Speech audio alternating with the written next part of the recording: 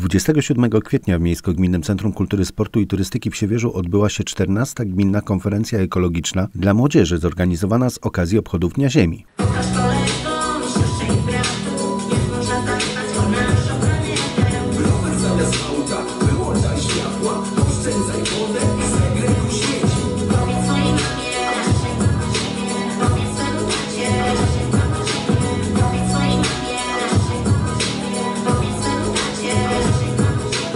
Konferencja została zorganizowana przez Szkołę Podstawową nr 1 imienia Księstwa Siewierskiego w Siewierzu oraz Zespół Szkolno-Przedszkolny w Wojkowicach Kościelnych. Patronat nad wydarzeniem objął burmistrz miasta i gminy Siewierz Zdzisław Banaś, a nad merytoryczną częścią całości czuwało Siewierskie Towarzystwo Ekologiczne Wawrzynek. Celem naszej konferencji jest przede wszystkim upowszechnianie wiedzy na temat ochrony środowiska w gminie Siewierz oraz rozwijanie wśród dzieci i młodzieży świadomości ekologicznej. Efektem naszych działań ma być promowanie postaw sprzyjających trosce o naszą planetę. Zaproszenie na konferencję przyjęli m.in. posłowie na Sejm RP Barbara Dolniak i Mateusz Bochenek, wicestarosta będziński Dariusz Waluszczyk, burmistrz miasta i gminy Siewierz Dzisław Banaś wraz z zastępcą Damianem Dawczyńskim, przewodnicząca Rady Miasta Barbara Bochenek oraz przewodniczący spółki dla zagospodarowania wspólnoty leśno-gruntowej Sylwester Rzepecki. W czasie konferencji młodzież z terenu miasta i gminy Siewierz omawiała różne dziedziny ekologii, a całość konferencji uświetniały artystyczne występy siewierskiej młodzieży. Jest siostrą, bratem. Każdy z żywych stworzeń to mój. Jesteśmy z sobą światem. A natura ten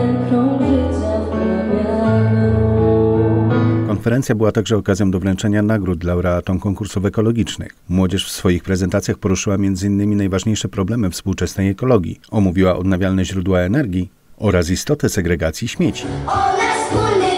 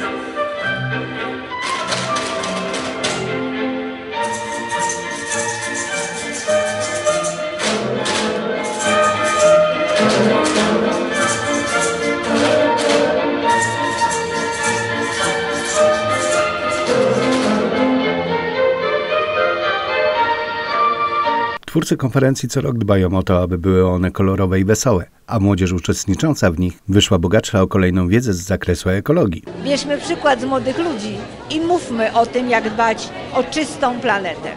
To naprawdę świetny pomysł. Gratuluję inicjatorom, pani Katarzynie Nowak, który od 14 lat prowadzi tę e, konferencję. Gratuluję miastom, władzom Siewierza, gminy Siewierz, ale także nauczycielom. Ale przede wszystkim gratuluję młodzieży, która zarówno w wystąpieniach słownych, śpiewaniu, tańczeniu pokazała, że na każdy sposób, w każdy sposób można dbać o ekologię.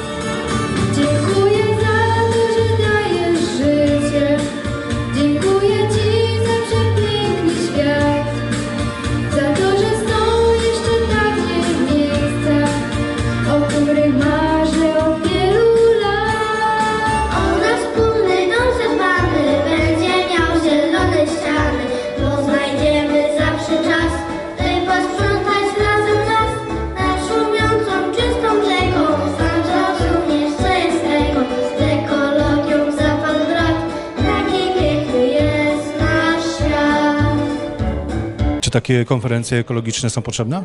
są niezbędne. Edukacja, uświadamianie e, ludzi o e, z jednej strony zagrożeniach, ale z drugiej strony e, o potrzebach jest absolutnie niezbędna i cieszy to, że te edukacyjne spotkania, konferencje rozpoczynają, rozpoczynają się od najmłodszego pokolenia.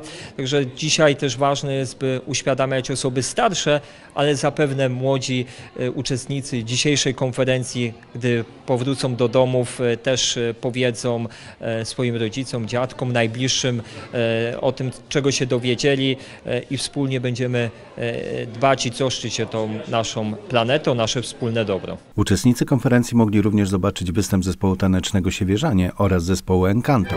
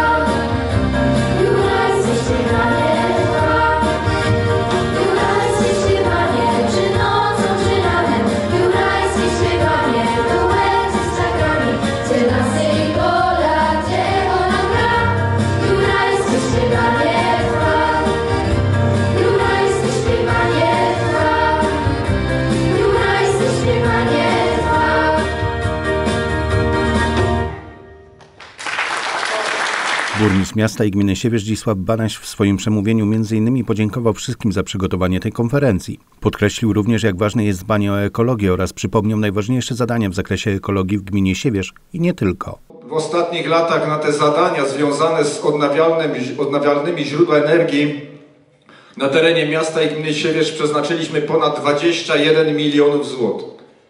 Ale nie chcemy na tym pozostawać. Chcemy realizować kolejne projekty na terenie miasta i gminy Siewierz i muszę powiedzieć, że zainteresowanie naszych mieszkańców w tym zakresie jest ogromne. W ostatnim czasie prowadziliśmy nabór na kolejne projekty. Było to w miesiącu lutym. Ponad 1100 naszych mieszkańców zgłosiło potrzebę dalszego montowania fotowoltaiki, pomp ciepła, magazynów energii. Chcemy to realizować w najbliższym czasie.